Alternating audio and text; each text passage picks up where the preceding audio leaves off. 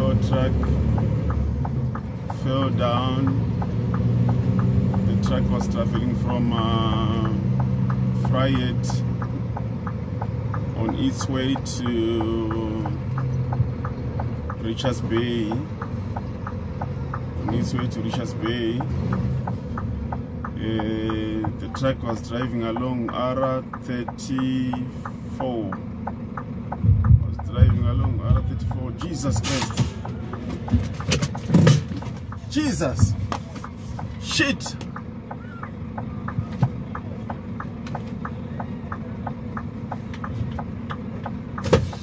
Another accident again on the same place.